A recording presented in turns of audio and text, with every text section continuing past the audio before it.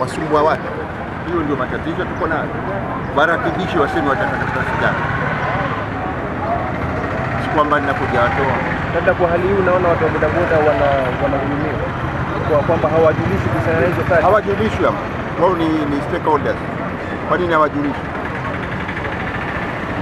Na hali hii mimi nailaumu sana county council, county, county council.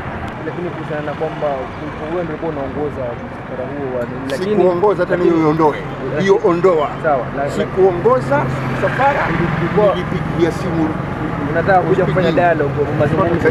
baada ya kumjulisha huyu alikuwa baada ya kumjulisha OPD hawa watoto wa, kuna matatizo haya na haya, walisema OPD aliniambia njoo nao waache kule, alafu we njoo. Nilipokuja hapa palitoka kikundi kingine kutoka hapa kikasimama pale kikafika mawe, lakini utazungumzia nini kuhusiana nao kul- kulitokeza kul- kusababisha kilitaka kutuharibia na kimeleta matatizo, na singependa matatizo hayo yatokee wakati mwingine.